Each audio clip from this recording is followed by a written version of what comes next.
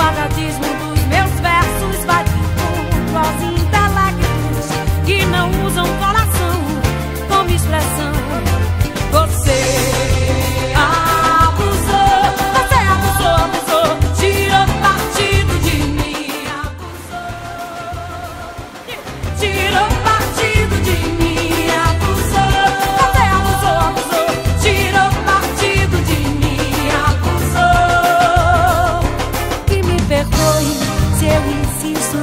tema, mas não sei fazer poema ou canção que fale de outra coisa que não seja o amor. Se o quadradismo dos meus versos vai de encontro aos intelectos que não usam coração como expressão, você.